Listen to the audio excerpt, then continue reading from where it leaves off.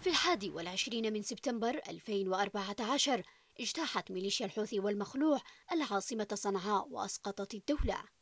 تاريخ اكتسحت فيه الميليشيا البلاد وطال دمارها كل أرجائها. والآن وبعد مرور أربعة أعوام تعيش اليمن أسوأ أزمة إنسانية في العالم نتيجة للانقلاب والحرب التي تلت بحسب تقديرات الأمم المتحدة.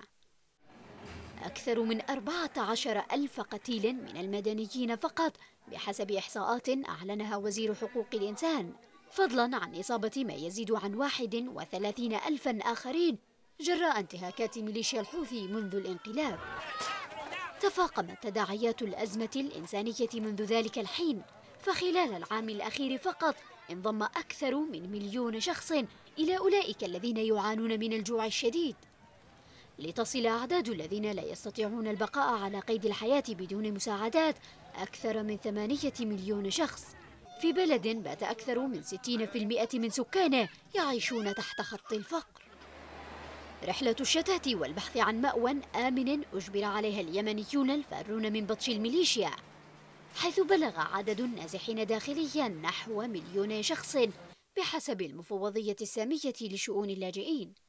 مشيرة إلى أن أعدادهم في ازدياد نتيجة استمرار القتال.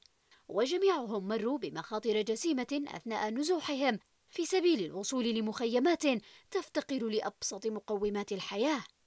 أربعة أعوام مضت خبر فيها اليمنيون من شمال البلاد إلى جنوبها المعاناة بأبشع صورها. من قتل وجوع إلى مرض ونزوح.